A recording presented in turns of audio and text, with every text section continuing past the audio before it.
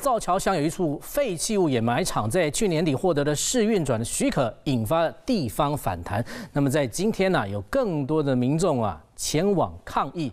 那么其实，在今年初呢，业者两度呢尝试着要把机具啊给运进去，但都被村民给挡下，因为他们担心业者偷偷的营业。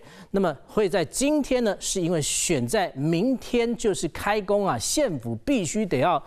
即刻的面对这个问题，所以这些抗议的民众在今天呢轮班的看守，在今天上午呢，包括了苗栗县前县长刘正宏以及地方明代学者，还有村民，总共超过了两百人，全部集合在掩埋场的门口发表声明，要求县府要在初六上班的第一天将试营运计划给撤回。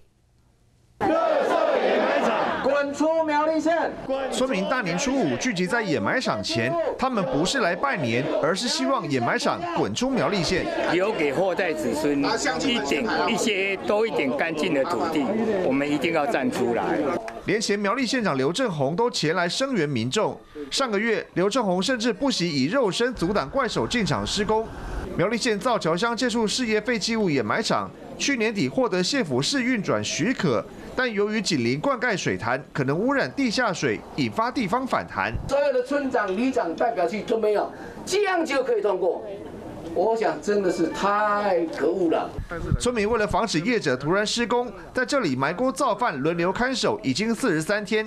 他们在年节期间共同发表声明，就是希望县府在初六上班第一天撤回市运转计划。为什么当初分区变更可以通过？它是基于什么样的理由？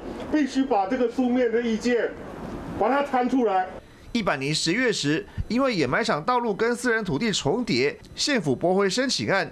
最近有民众要在附近盖民宅，地主同意为现行巷道，间接替掩埋场解套，县府核准是运转三个月。不过村民质疑整个过程是黑箱作业，要县府出来讲明白。